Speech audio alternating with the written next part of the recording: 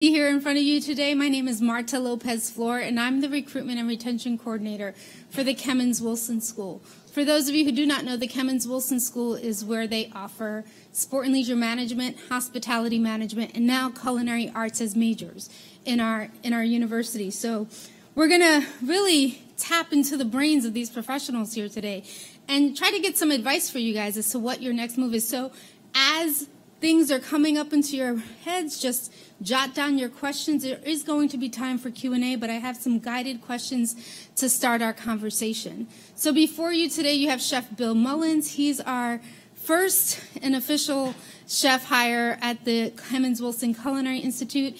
If you don't know, we now have a culinary institute in Cordova and we're excited about that new program launch. All right. Next to Chef Bill, we have Shelly Kemp with the Memphis Grizzlies. She is an HR coordinator for the Memphis Grizzlies, so definitely prep some questions for her. um, she can. She has a, a rich career in HR, and she knows what it, what you know, the industries are looking for in terms of bringing talent on board. And then to her right, your left, is Andre Jackson. Andre is unique because he studied hospitality and he actually went into that field.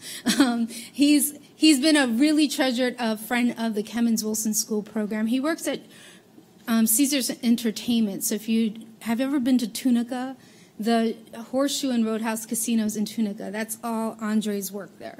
Okay? And then finally, we have a recent graduate from our program, Nicholas Williams. Nicholas is at the New Hampton Inn and Suites in Germantown, so he, he has a really intentional insight as to what it takes to open a newer property. Um, so there are a lot of good levels of experience here, so I'm going to get this party started with the first question. And it wasn't on any questions I shared before, but I'm curious to know because it is National First Generation Student Day, were any of you first generation students? And first generation means that neither of your parents graduated from college. Okay? Yeah, I was. Um, I actually was the first one in my family to go to college. I was the first one in my family to go to any kind of advanced school. Uh, I graduated from Mississippi State University in uh, 1996 uh, and then the Culinary Institute of America in 2003. Uh, so I've kind of bounced around all over the place myself. I'm a lifelong learner myself, and eventually hope to be like one of you guys. I'll be a student here as well. So, anyone else, first gen?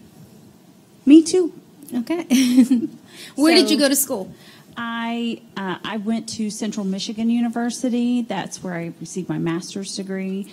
Um, my bachelor's degree is from right here in Memphis. I went to a small Christian private school called Crichton College and uh, graduated, um, let's see, organizational management was my major uh, in undergrad, and then human resources was my major in um, master's, okay. from a master's degree.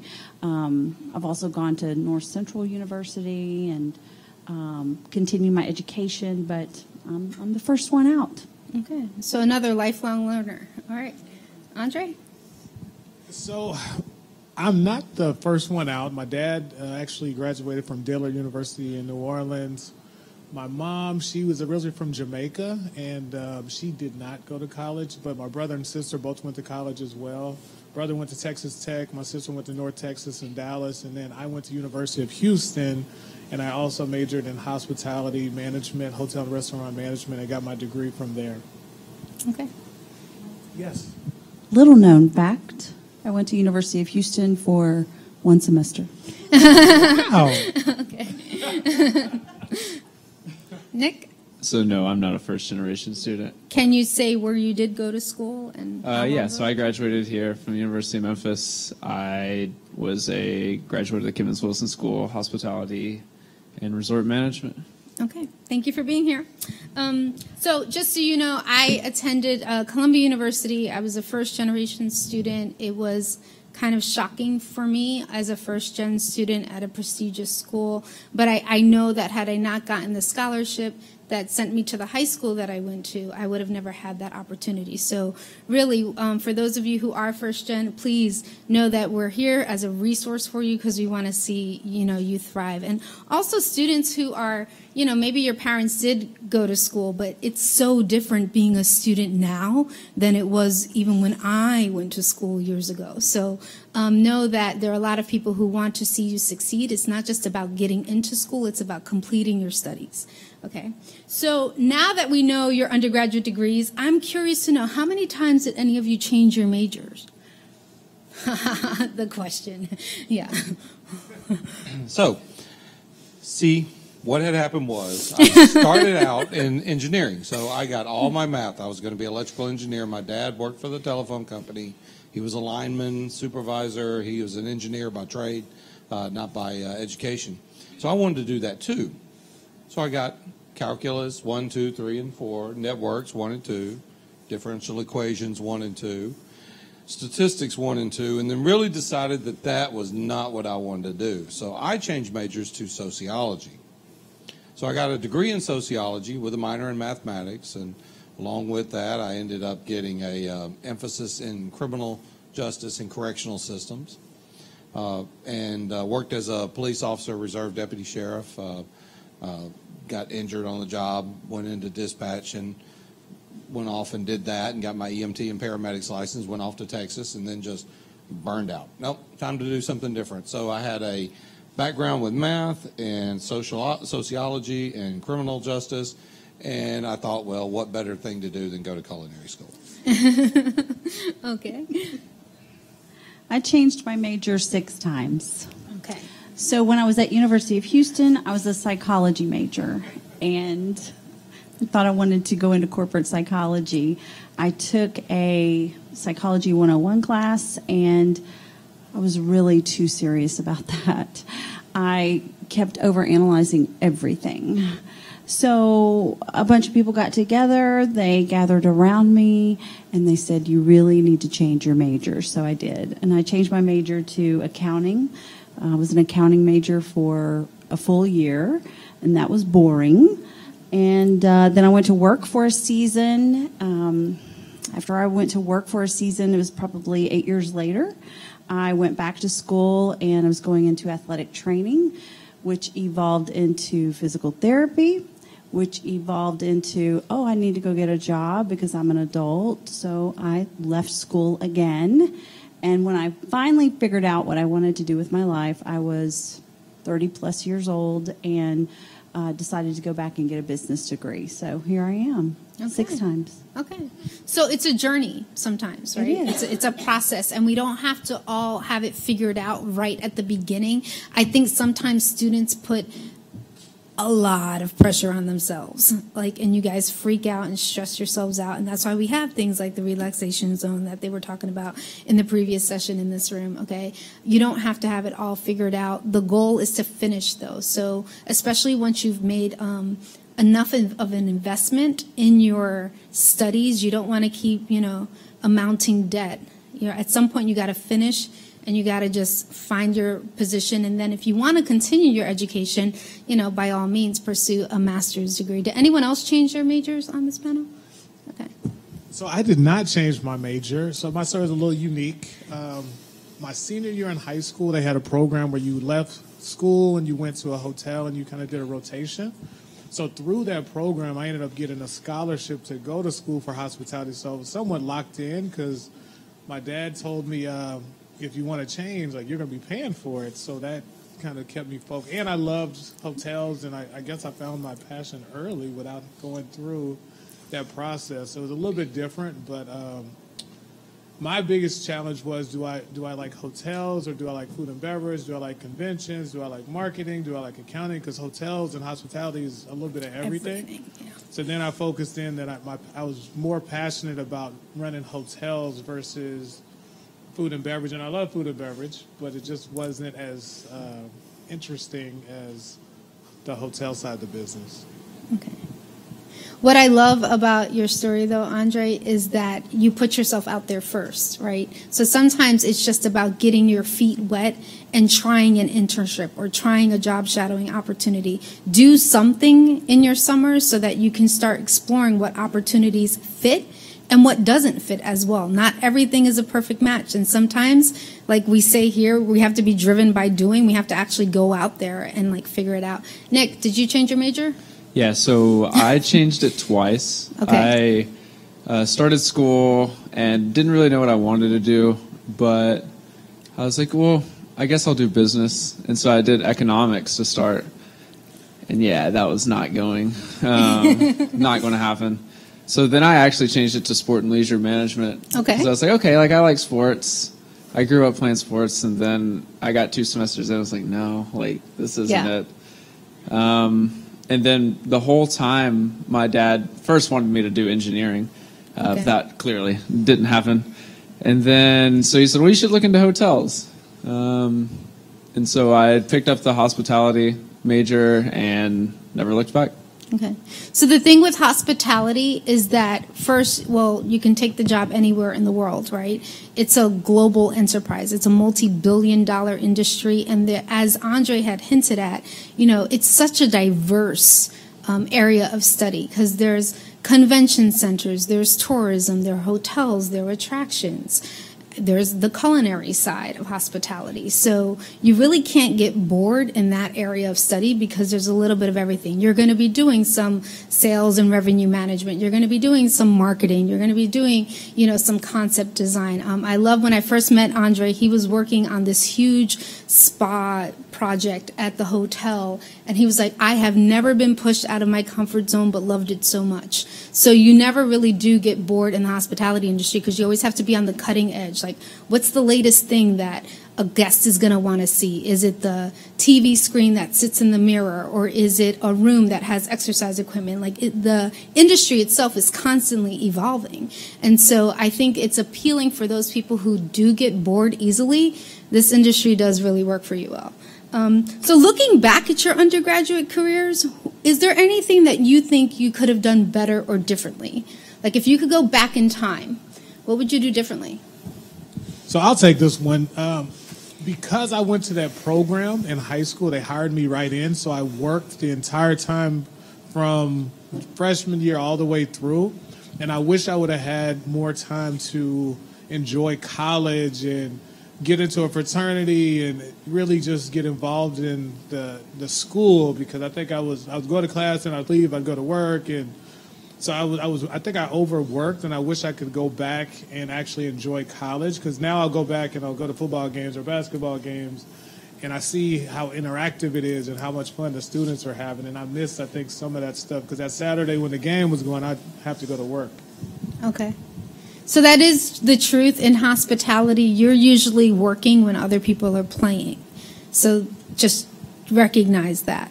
Usually, like if it's a holiday, like you can't take off Mother's Day in hospitality. That's like a no no. um, so just know that about the industry. Yeah. I, I share some of Andre's insight.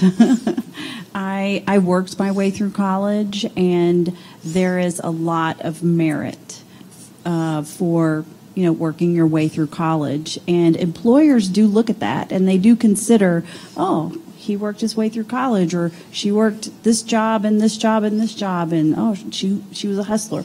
They also look for your extracurricular activities and what kind of teams you're on and what kind of advisory groups or advisory boards um, you serve on. They they want to see that you were active in some sort of activity while you were in college because they do want to see how you can handle your time in between personal and school, which is business they, they do want to mm-hmm. see that. And for me, it was all about, you know, working my way through school. So I did not attend University of Houston, the Cougars.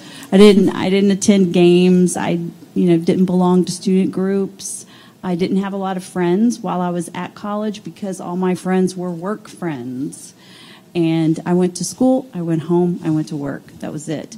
Um, so I would say, and I have a 17 year old that's getting ready to go to college, hopefully U of M, and uh, I want him to enjoy his time while he's in while he's in college, and and be serious, take it seriously. But um, straight A's are not what employers are looking for. They're not. They're looking that you complete the degree. They want to know that you can manage your time. They want to know that you can manage a project while you've got all sorts of other things going on. Um, so you know, have fun while you're in while you're in college. That's what I would have done. Okay. Would anyone else like to contribute to this before I move on to the next question? Uh, my first year in college, I think I spent a little too much time uh, enjoying college. the truth. Uh, uh, I was in a fraternity. I did the whole thing. Um, so um, that was not a conducive environment for me. Uh, having a type A personality, I'm a little bit uh, uh, take charge. So not only was I in a fraternity, but I was the leader of my pledge class, and um, you know, hence I'm the first one to get into trouble. Uh, so I enjoyed a little too much, and then all of a sudden, about uh, my sophomore year, middle of my sophomore year, I decided to get serious.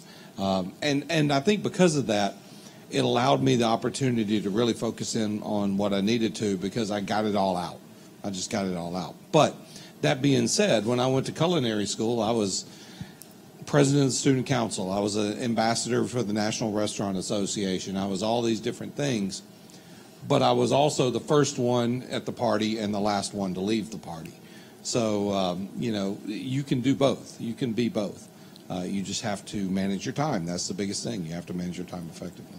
And that extends your your advice really extends into adulthood, like into being a working person too, because uh, you always hear this thing like work life balance, and to me, it's a it's a misnomer. It doesn't exist, and I have recently adopted this work life blending model. Right, so sometimes I'm going to have to work on a Saturday, you know, or take care of some business during my lunch break. Like it's more of a of a blending act versus a balance. But you do have to be able to manage your time wisely no matter what, because an employer is not going to, like, the work's got to get done in the end. So keep that in mind too.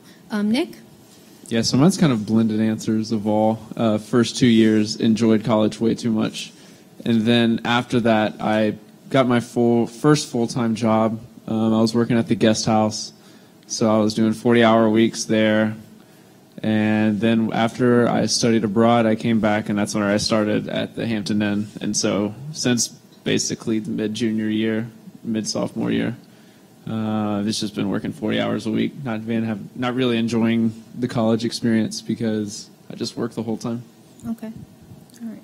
So here's um, we we are talking about like what's your next move, and you're going to hear throughout college a lot of people say, "Oh, you need to find a mentor. You need to find a mentor." So I want to dig into a, that a little bit more. So I want to ask our panel: Do any of you have mentors, and how did you go about developing those relationships? Um, so it's a two-part question because I think students sometimes really don't know how to go about forming that mentor-mentee bond. Uh, yeah, I have mentors uh, in various different stages of my life. Uh, when I was working for the sheriff's department, I've got uh, a man that I could call on down there. I still call him. I, I see him every now and then, um, and and it's constantly one of those things that if I have a conundrum, if I have a problem, I'll run it against him. Um, I have members, uh, mentors in the culinary industry. Peter Timmins from the Greenbrier, uh, fancy five-star, five-diamond property in West Virginia. Uh, that um, when I first interacted with him, I was just a student at culinary school, and he was a um, uh, a student. I'm going to use that term loosely uh, in the continuing education department. So he asked me where something was, and I proceeded to talk to him as if he had just started culinary school on day one uh, not knowing that he was a master chef. So uh, that that's how my relationship started with him. So sometimes it's a matter of happenstance that you find the the mentor you're looking for, and sometimes it's purpose driven. I've actually sought out specific people that I want to be in my career field, in my life, in my ability to reach out to. Now there is a huge difference between a mentor and then someone who is an influencer in your life. A mentor is there to be able to bounce ideas off of and be able to bounce uh, conundrums and moral um, ambiguities off of them, someone that can lead you in the right path. So when you choose your mentors, choose your mentors that wisely. Don't just choose mentors because they think you can you can get something out of them um, from uh, a work environment or something like that. Find someone in your field that you're looking to work with uh, that you're that you respect, and that's the biggest thing. You have to have respect for them in that process, and then earn their respect in the process of that. Okay. And tag them on Facebook because nobody change. Everybody changes their phone now. Good point. I I have had mentors over the years. I probably started um, being mentored in my 30s. I joined a Toastmasters group. Have you ever heard of Toastmasters? Um, I, I joined a local Toastmasters group here in Memphis, Tennessee. so, Shelley, not to Yes. interrupt, but for those who don't know what Toastmasters Group, can you tell them what yeah. that is? Toastmasters is an awesome resource for anybody and everybody. They have closed groups and they have open groups, but basically they are there um, for uh, for their participants, for their members, and they help you strengthen your communication skills. So every week you go to a meeting and you sign up for different parts of the meeting, and um, some people will give speeches, and then some people will evaluate how they did in their speech. So they're looking at how many times you said um, you know, while you were um, talking. Or they may be watching you to see if you fidget, and so they'll give you that feedback at the end of the meeting. But it's a great way to really develop your public speaking skills. And even if you're not looking to be a public speaker, they really can help you become a more effective communicator because then you can work on how to persuade people or how to sell something or how to present a proposal to your boss, how to get someone to pay for a particular certification that you would like to get. You know, you've got to talk them into it. So they'll teach you how to do that, and you can practice at your Toastmasters meeting every week by giving them your spiel. So, Toastmasters International, I think it's .org. I believe there is a chapter affiliated with the business school here on campus. So if that's something that you know you want to make your next move, look it up on, either on Tiger Zone, but there's usually a local chapter somewhere. Absolutely. Um, the person who um, get it, the person who recommended Toastmasters to me first was Dr. Kathy Tuberville, because I guess 15 years ago she was my professor at Crichton College, and she she directed me to Toastmasters International. So she is on faculty here as well in the School of Business. So please contact her. I'm sure she'll she can tell you all about it. But I found my first mentor at Toastmasters, just somebody I gravitated to, and she gravitated towards me. Her name too was Shelley, so it was Shelley and Shelley, and she has been my mentor for over 10 years now. And we have seasons, you know. We have seasons. Uh, some seasons we're talking very regularly, maybe every other week, or maybe I'm talking to her through a project that I'm working on because I want to know how she would do it or how she would approach it or am I thinking about it correctly? Who do I need to know to get this project done? She knows a lot of people. So she just helps me solve problems and she helps me work out how I'm thinking. She challenges me and she also encourages me when I'm feeling pretty bad about myself because we all have our days. And so she will remind me of how great I am. And you all need that. You all need someone to tell you how great you are every once in a while. So Shelley does that for me. I've had a few other mentors in my life, but they've been short seasoned. Shelley just kind of sticks. So mentors are great. You got to find one. Wonderful answer. So I, I've had amazing mentors in my career, and uh, I'll tell you a little story about a mentorship program that we had in our company that I think wasn't set up correctly. So mentorship is probably one of the most important things you all as students can do, even as you go through your career. I've had them early in my career, and now even um, as I've continued to grow in my career.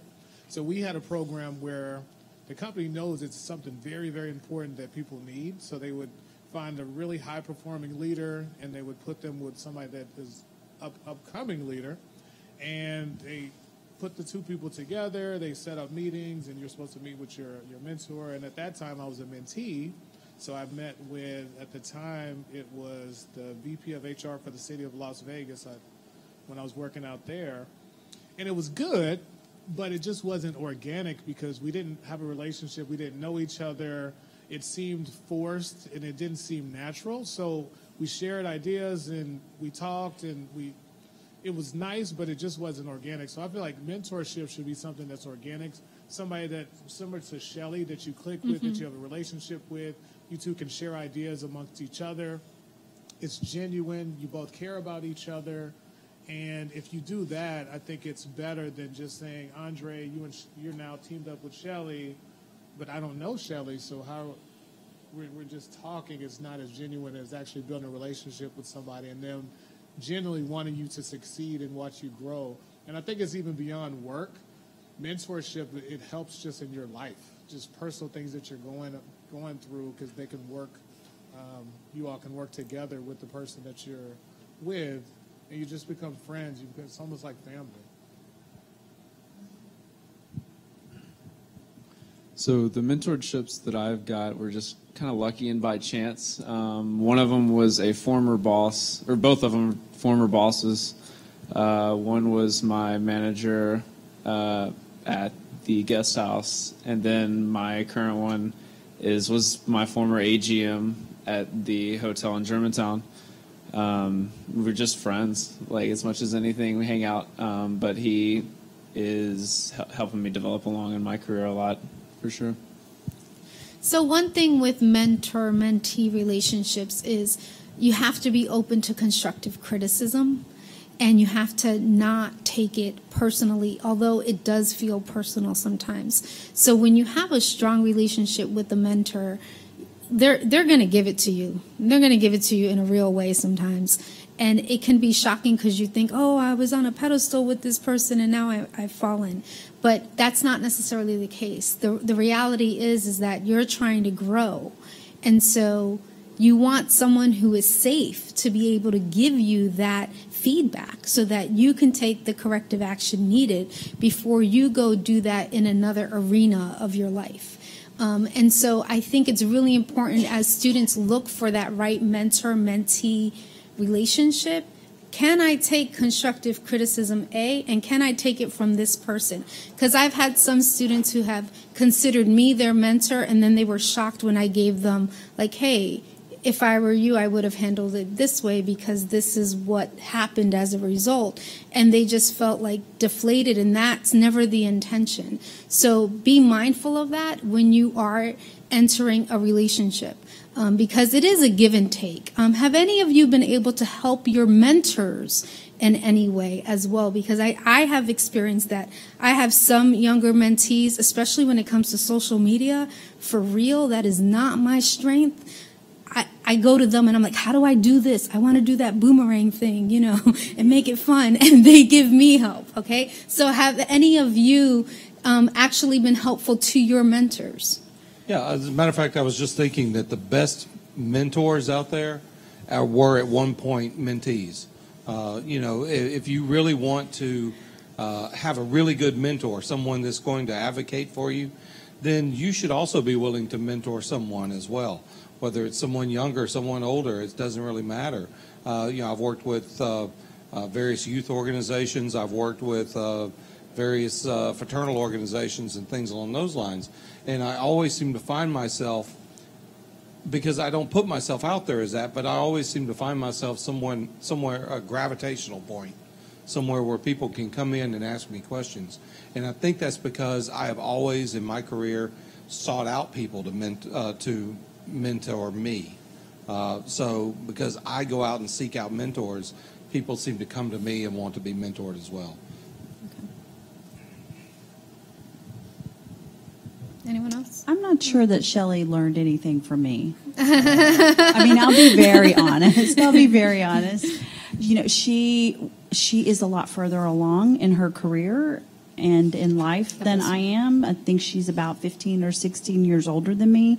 So I was looking to her to find out how to be successful like her because she is in my mind successful and happy and joyful and she has you know all these great things that go on in her life and i would like to emulate that so i'm not sure i gave her anything or taught her anything Uh, I think we have evolved into more friends. We actually went to lunch for my birthday this year, first time in like 12 years. Wow. So, I mean, I think that's an evolution of the relationship. Um, I would say though, when when you have decided that you would like someone to kind of grow you up, to mentor you, um, look for somebody who you admire, or maybe somebody that you would want to emulate, someone that you want their feedback from because just as Marta was saying, they're going to give you the bad with the good. They're going to give you the ugly with the pretty. So you you have to be able to take it and um, whenever you do find someone or if you do find someone that you would like to be mentored by, uh, it's as easy as asking them. So all you have to do is you know, take them to the side and say, "Hey, I, you know, really appreciate the conversations that we have, and you know, my goals. I'm here at University of Memphis, and I'm trying to do this and this and this, and I'd really like to." I don't know, maybe establish a mentor relationship and maybe we could meet once a month. So you could put yourself out there and you could tell them exactly what you're looking for. And then they, hopefully, will reciprocate and say, Yeah, I, I would love to be your mentor. So it's, it's easy to, you know, to ask, um, but you, you have to actually say it sometimes so that they know that you expect them to be in your life. You know? Yeah, you do definitely have to establish some boundaries and some like guidelines, right? So that you know what the expectations are. Um, if you are looking for a mentor and this person doesn't know that you're looking for that, well, you're kind of setting them up to let you down, right? You're setting them up to fail. So you kind of have to spell it out like, hey, I'm really looking for the, a mentor because I'm trying to grow in XYZ. And they'll tell you if there's not time in their busy schedules or lives. They, they're usually really good about that. Um, another way to, just so you know, a cup of coffee goes a long way to start the conversation. Is it okay if we get together for a cup of coffee or, or sweet tea or whatever it is? I know we're in the South. Okay. so it just invite them out and start the conversation. Um, sometimes you kind of have to interview them and get to know them a little bit more before you really delve into a full blown mentor mentee relationship. Andre, So I'll say if you follow the model that um, Shelly and Marta just said, people are typically honored. So if somebody walks in my office and says that, even if I'm as busy as can be and I got a million projects going on, I would be so happy that somebody thought that highly of me that they wanted me to be their mentor, and I would make time to build that relationship and give them the guidance that they need. So my mentor is in Las Vegas. Her name is Carrie Hall, and one thing that uh, she taught me a lot. I worked with her for over Hey, ten Andre, years out there. Can you hold it? so- Okay. Yeah, a little bit. So, because you just want all those Australian people. Okay, hello, to Australia. us. Okay, all right. So Carrie Hall, she's in Las Vegas. We worked together for over ten years. She was an amazing person. But one thing I taught her was she was a workaholic. Carrie would work seven days a week. If she wasn't there, she thought the hotel and all the restaurants and the entertainment, everything that was going on would just stop.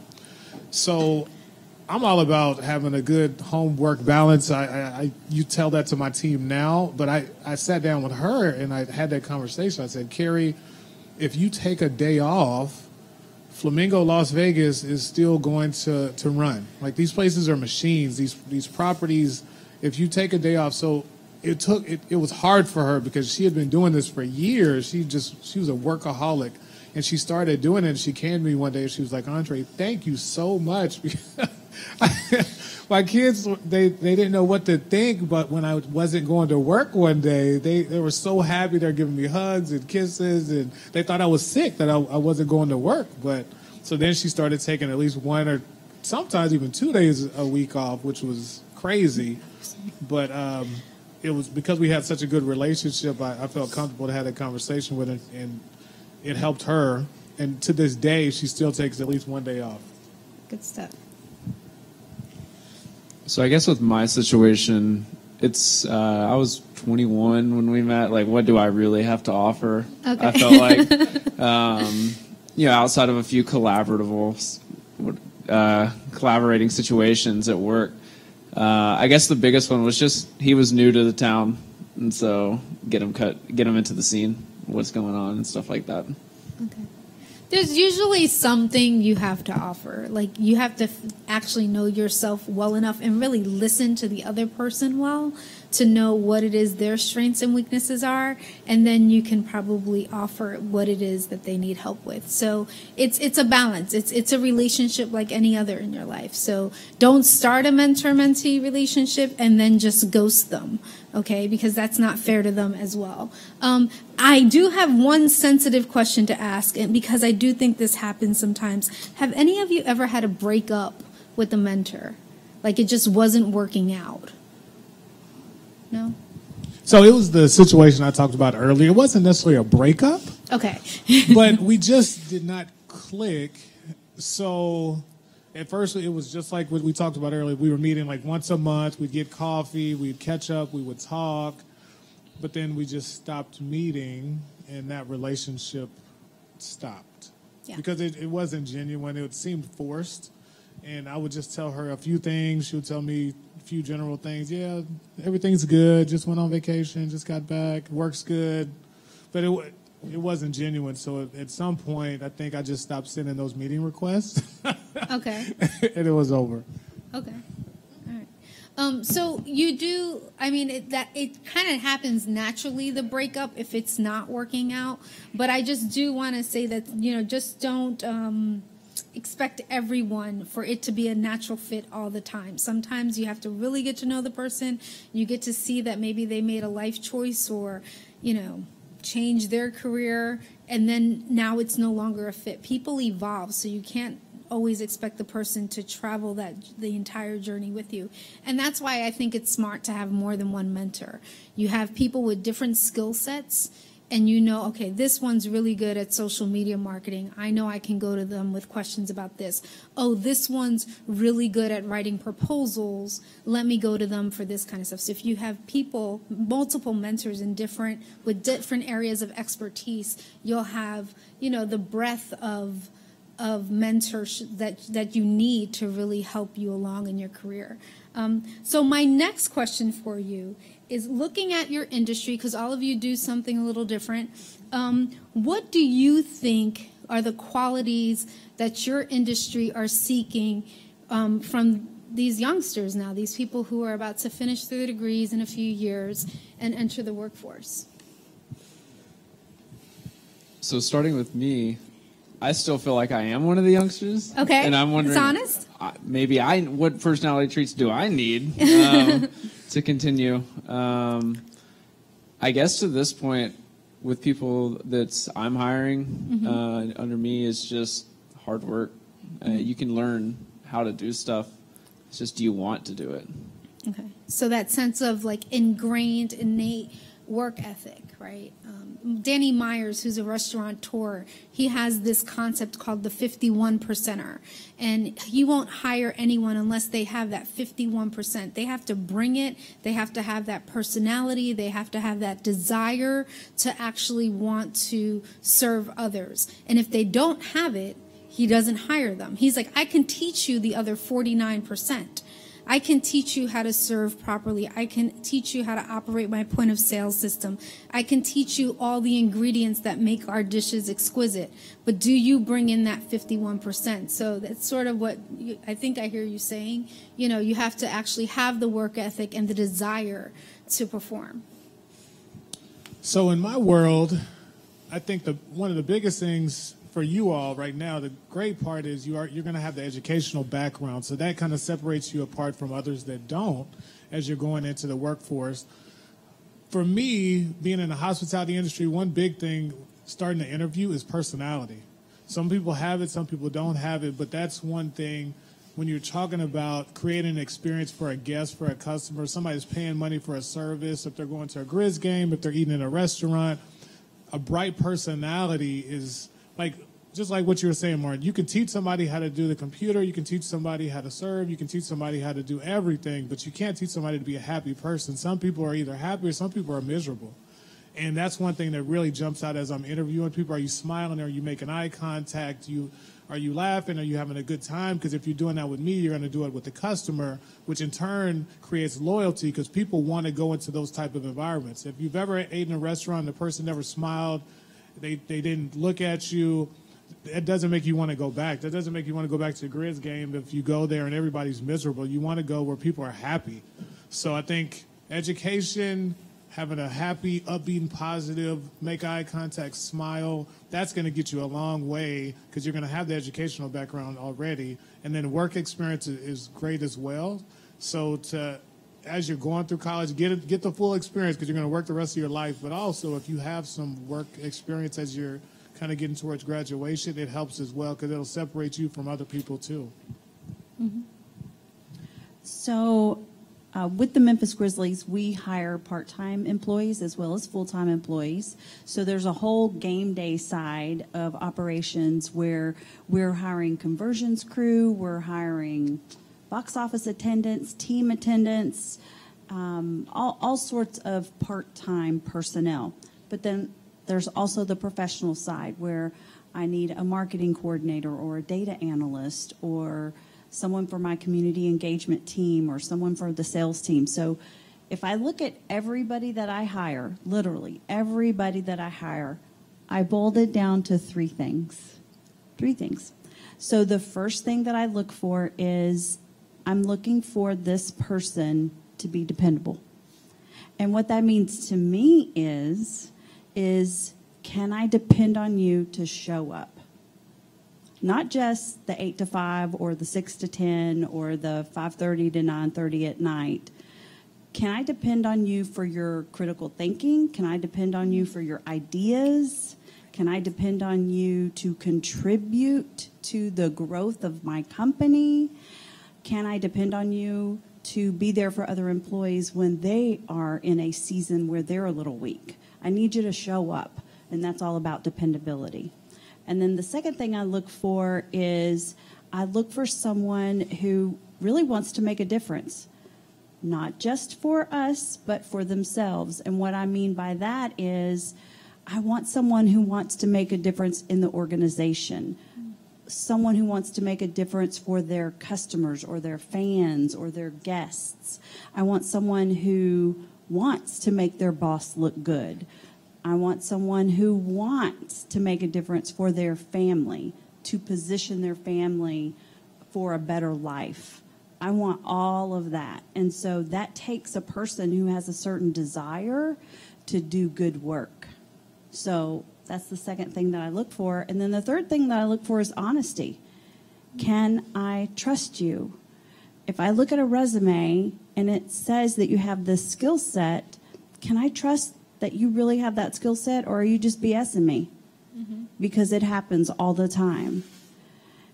Can I trust that you're going to not just show up and work a game, but if you see something on the floor that is distracting or could be a safety hazard or is just trash and needs to be picked up, can I trust you that you're going to pick it up and throw it away because you're part of the organization? Mm-hmm. I know you're not service master, you're not you know, you're not the person who takes out the trash, but can I can I trust you to pick up that piece of paper?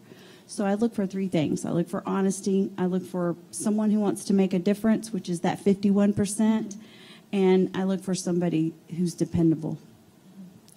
Um, Chef Bill, I know we are running low on time, and I didn't want to end this without asking questions. Um, do any of you have questions that we want to ask the panel? He's he's got something burning to say. Let me It's let just- him say it because I work with the man. Uh, I look for all of that, but I also look for pirates because I'm the I'm the captain of a pirate ship in the culinary industry. I want someone who's willing to walk the plank with me. Oh wow, I like that. I'm happy. Did you hear? that? Did you get the analogy? So walk the plank with him, like go down. Take the, that the leap. Path. Take That's the right. leap with him. You know. So did anyone have questions here? Um, because I I do have more, but I'll give you the mic because of our U of M global attendees. I want them to hear the question as well. So does anyone have a question? No? You sure? Don't be shy. Okay, so now here's here's what I'm going to have you do. Take out your cell phones. You're never going to hear this in uh, regular classes, but take out your cell phones, and I want you to get a picture of our panel because I want you to remember all the names that are up here.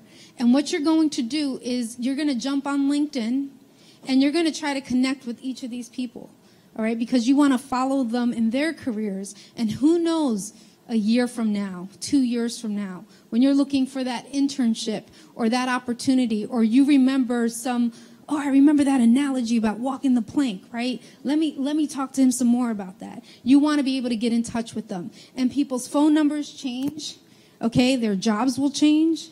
But if you're connected with them on LinkedIn, you're going to remember that. So just take a quick picture. That's why I actually try to put these names in bold for you so you can do this activity. Make sure Andres is showing there, okay? Smile. Look at Chef Bill. okay. So please make sure you're linking in with everyone. And if you have any questions, please reach out to me. Again, my name is Marta Lopez Flor, and thank you so much for your time and attention this afternoon.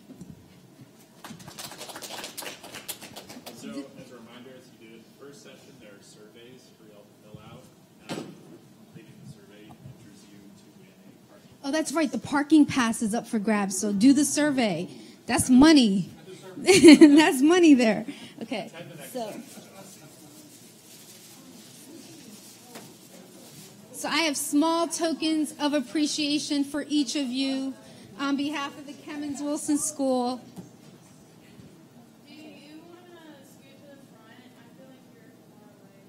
You don't have to if you don't want to. but Do you want to scoot up? No? Okay. That's fine. okay. Are we ready? Yeah. Okay, hi y'all. How are y'all? Um, thanks for coming. Um, this is the Civic Engagement Board session. So today we're just going to talk a little bit about how you can get involved um, with our events and just with events in the community in general. Um, and you're going to learn about what we do on the board, and we're going to do a little service project at the end. Okay, so the Civic Engagement Board is just the like primary site for volunteer uh, volunteerism at the University of Memphis. So every single volunteer, anything that is connected with the U of M and the community comes through us first. So we're like sort of the bridge that connects the community to the campus. And there are seven of us on this board, and we also have a little bit like lesser um, leadership opportunities for you to take if you wanted to get more involved with us. It's called Site Leaders, and we'll talk more about that later. And we've done a ton of things so far this year. We've had kitten yoga with the Humane Society, and we've helped out at the Botanic Garden. And yes, so we'd love to see you come out to some of our events, and we'll talk more about that. Hi everyone. So we're going to start off introducing ourselves for the Civic Engagement Board. And my name is Kina Vung, and I'm a biology and Spanish major, and I'm from Memphis. I'm a junior, and I'm the Days of Service coordinator. So what I do is we I make or coordinate really big service events. We did one at the beginning of the school year, and we broke our record. We had like 325 students come and volunteer. We went to St. Jude, the Memphis Food Bank or Mid South Food Bank, and many other places in the community. And our director is Yasmin Mason, and she could not be here today because she had a test. But what she does is that she keeps our board together and she helps coordinate everything and helps everyone get their job done so we can impact the Memphis community. And she works with Zach Carr, who is our advisor for the board, basically. And yeah. Okay. And my name is Liz Murphy, and I'm a sophomore international business major, and I'm from Boston, Massachusetts. And I'm the service on Saturday coordinator. So basically, we host three of those a semester, so there's six total in the year. And it's just about 100 Memphis students who come together to volunteer on Saturday mornings. Hi, my name is Kate Baker. I am a junior professional studies with a concentration as a child life specialist major from Memphis, Tennessee. Um, I am the RSO liaison or the registered, registered student organization liaison, and I basically am the point of contact for all service events for the RSOs on campus. So I send out emails about any and every opportunity to that we provide um, every semester. I'm Desiree Carter. I'm a sophomore math education major. I am the Greek liaison for uh, the Civic Engagement Board. Basically, I just keep the Greek community at the University of Memphis um, engaged and aware of all of our events and make sure that they have all the information that they need. And that's really it.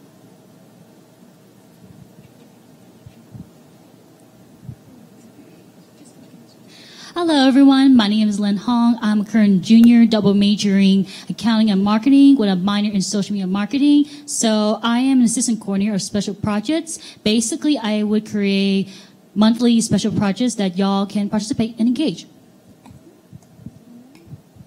Um, my name is Chloe McNeil, and I am the co-director of the marketing. I'm Caroline Hawkins, and I'm a senior public relations major, and I'm the other part of the marketing team. Um, and basically, what we do is we make flyers for all of our events, um, post on social media, post pictures of you guys if you come to our events, and just keep everyone updated through social media.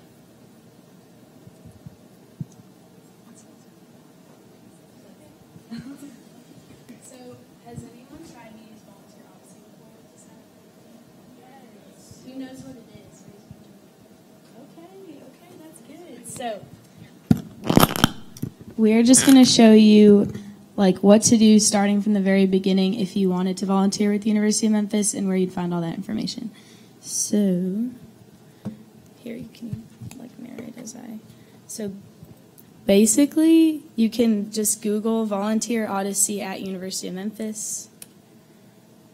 And then you can click on that first one. And there's a link here that says Volunteer Odyssey Partner website because we're who they partner with. They're just a volunteer platform for the Memphis community. And then click on that. Okay, so there's a little description about what Volunteer Odyssey is and what they do. So you click on the Volunteer Compass platform, which is where you actually find all those sites. And then I'm already logged in, but normally there'd be a little icon here that says login or sign up, and you would choose login. Um, with the University of Memphis, you can just put in your password and your username, and it brings you to this page. And then you go to My Activity and Groups, and you should see as a Memphis student days of service, service on Saturday, and University of Memphis. So if you really wanted to find out about any of these events, you just click on the link here. So days of service, here you can see at the well there's nothing coming up but if you wanted to you just scroll down and see what there is to be offered okay yeah that's not going to show anything so like for service on saturday this upcoming november one on the 16th you can just click on there and it shows you how many spots are available um, where and what the sites are and any other pieces of information you would need to know. And then to register, if I wanted to register for Compost Ferry, I would just come here, click register, and continue. So, yeah. You can also volunteer, like not just like Memphis-based volunteer opportunities, but like other opportunities in Memphis in general in the city. Like you go to like Memphis Botanical Gardens and like other nonprofits around the city that help everyone in the city. Like you can volunteer for literally anything. And you can filter to whatever you're looking for. So if you were looking for a date, you could find something for that specific day. Yeah. Yeah. It's like really fun activities. If you have nothing to do on a Saturday, you can just help out the community. And it's really fun, great experience. It's memorable. Does anyone have any questions about the website? Okay. Thank you for listening. Can you go back to Ferdinand? Oh, Yes. Oh, microphone. Oh wait, let me give you So if you were to like do a service opportunity that wasn't through Volunteer Odyssey, could you still register it on the website? Does that make sense?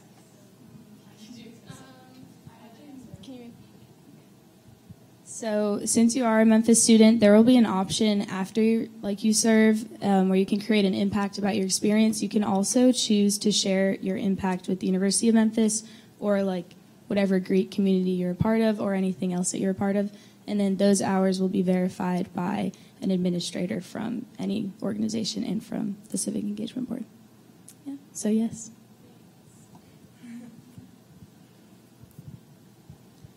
Okay, so so we work out of the office for the Center for uh, Service Learning and Volunteerism. That's the office that we work out of this year. It actually is an office that just recently opened up, um, so it's new this semester. Um, we in this office we help students um, get connected with volunteer options to get hours for scholarships, for clubs, for Greek organizations, whatever you may need. Um, we also oversee student groups such as Civic Engagement Board, um, Alternative Break Experience, and things such like that. Um, so, um, I'm just gonna click this. So here's our website for our office. Um, if you wanted to kind of get more involved with us, also here's some some really cool stats about us.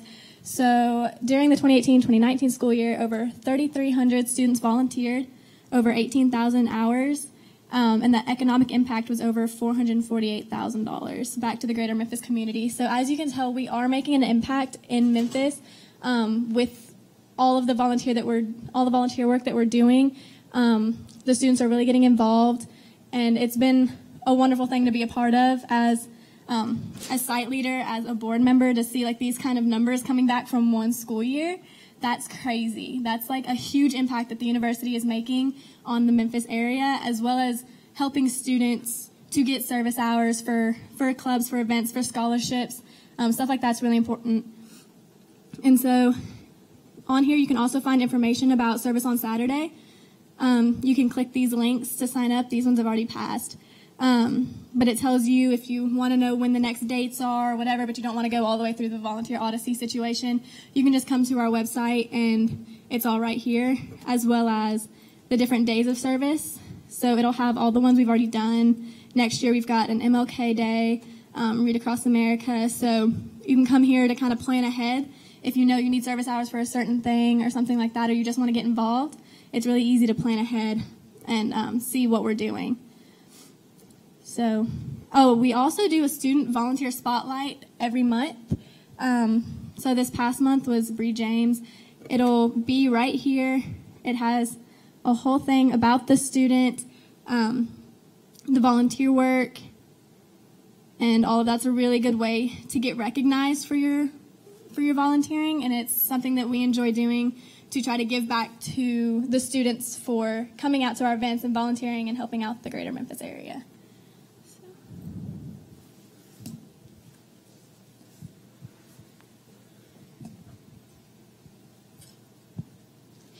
So why is service important? So we're going to go ahead and break down into groups and, and discuss about it.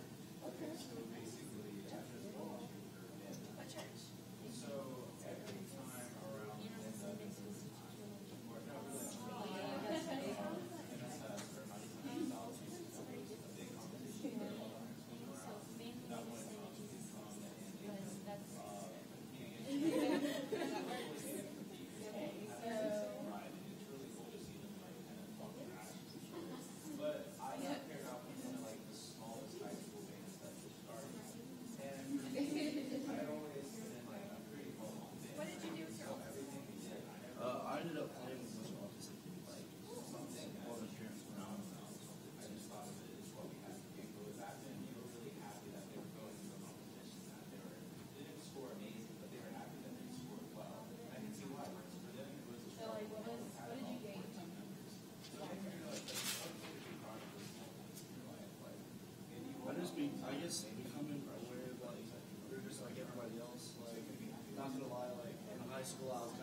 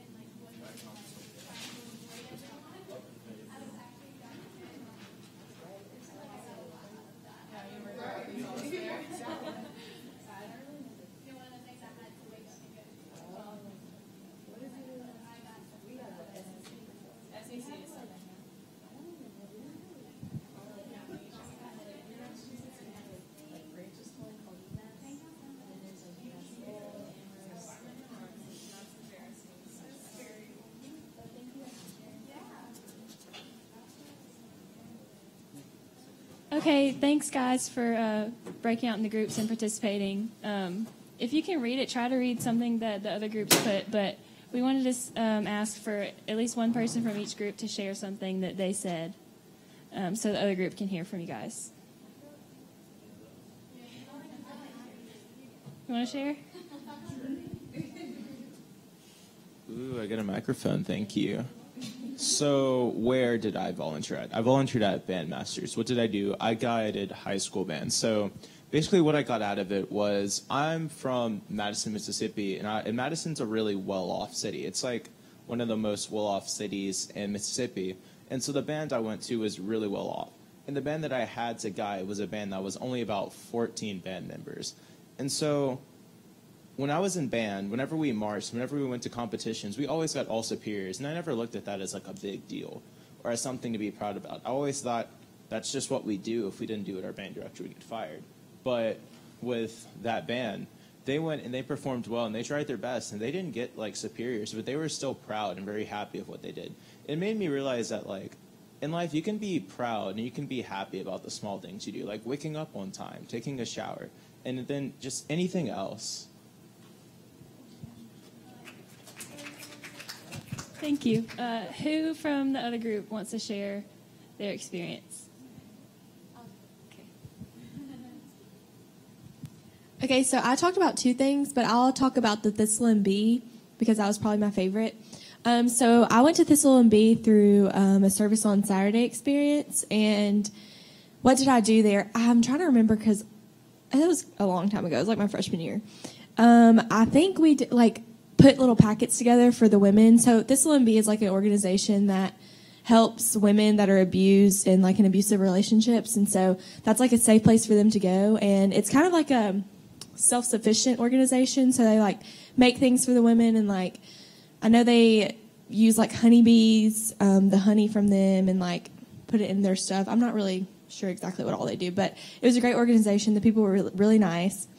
And so, um, how did it impact me? I think it just showed me a lot um, about kind of like what you said, like what people go through and like how much that meant to them that they can go there and be safe and have everything provided for them. And um, through that, I was able to get my Greek organization um, to come and volunteer there as well. Everyone loved it, so it was a great experience. Thanks, Bailey. Okay, so next thing we're going to do, since we are the Civic Engagement Board, we're going to do a service activity. And we're just going to be writing and drawing cards for people in the military that can't be home these for these holidays that are upcoming, like New Year's, Hanukkah, and Christmas. So we have some construction paper here, and y'all can pick a color, and we have markers, and we're just going to make some cards.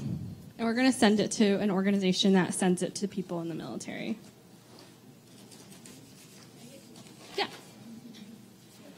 Get however many you want. Yeah, pick all the colors you want.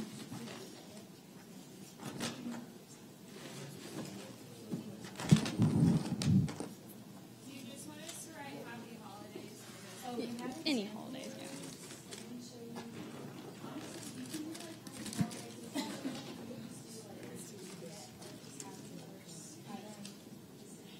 Yeah, like thank you for your service.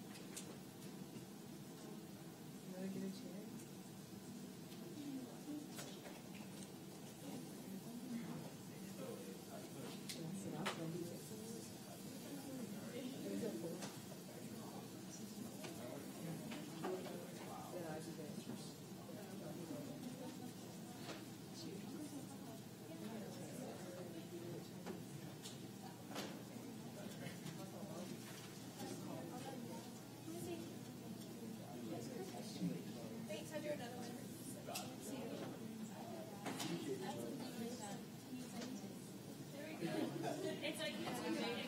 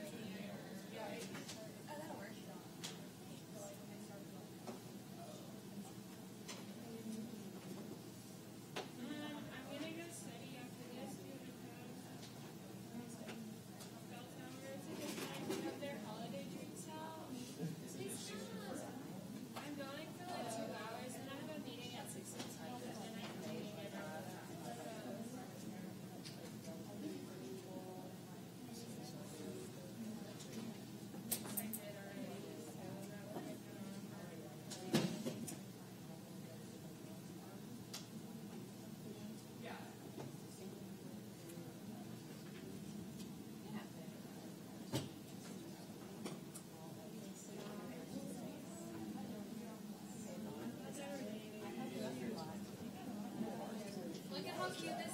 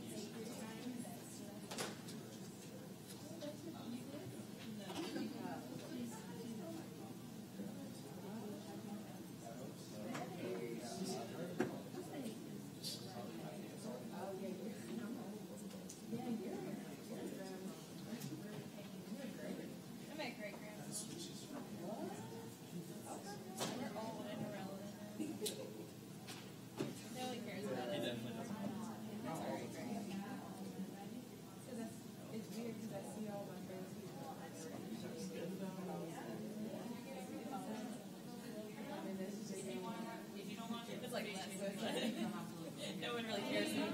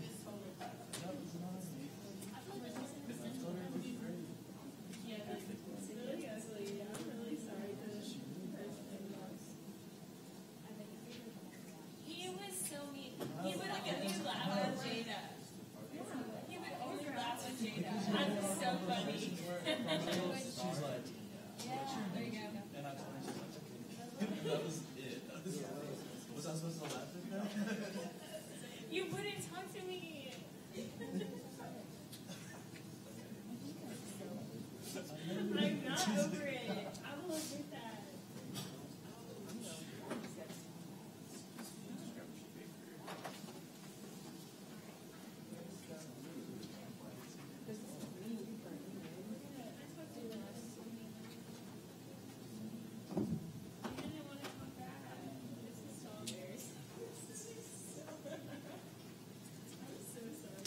we're gonna keep, we have a few more things to but they can keep working on it.